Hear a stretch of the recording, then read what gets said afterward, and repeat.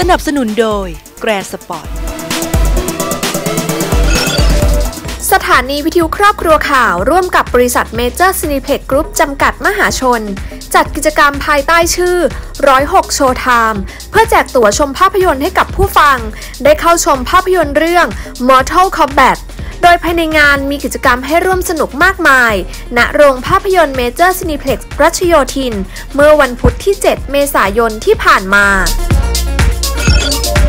ช่วงสุดท้ายของรายการนี้โลกบันเทิงที่อยู่ในโลกออนไลน์กับ Star Network ในค่ำคืนวันนี้ครับ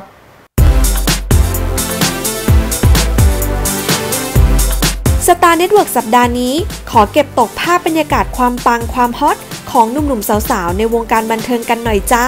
กับความร้อนแรงในช่วงหน้าร้อน บอกเลยว่าแต่ละคนเขามี activity ทำกันเยอะมาก เพราะถึงแม้ว่าจะไม่ค่อยมีงานปาร์ตี้รื่นเริง หรือการสาดน้ำกันสักเท่าไหร่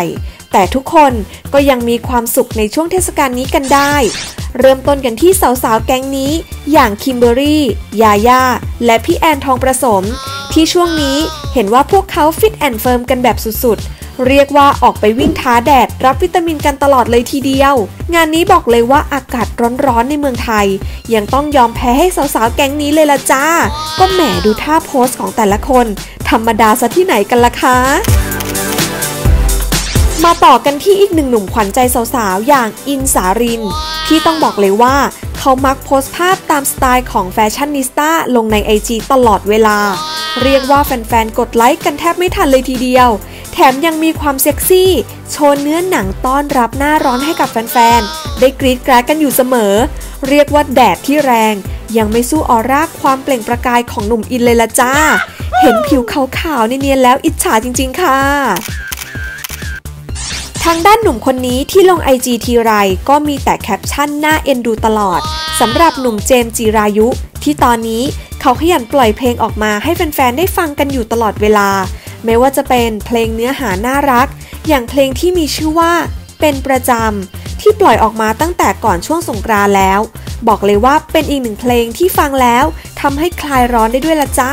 สำหรับใครที่อยากติดตามผลงานเพลงอื่นๆ ของหนุ่มเจมส์ก็ไปติดตามกันได้ที่ YouTube Channel จิรายุตั้งสีสุขค่ะเป็นของเธอจะมีที่ไหนที่ทำให้เธอกลับมาอีกสักครั้ง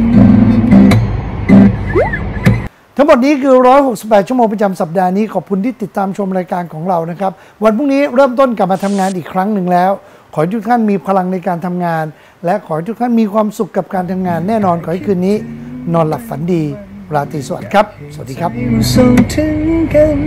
จะมีแต่ฉันคิดไปคนเดียวหรือเปล่ายังคงคิดถึงเรื่องเดิมๆนานแล้วเราไม่ได้เจอที่ตรงนี้ยังเป็นของเธอจะมีที่ไหนที่ทำให้เธอกลับมาอีกสักครั้ง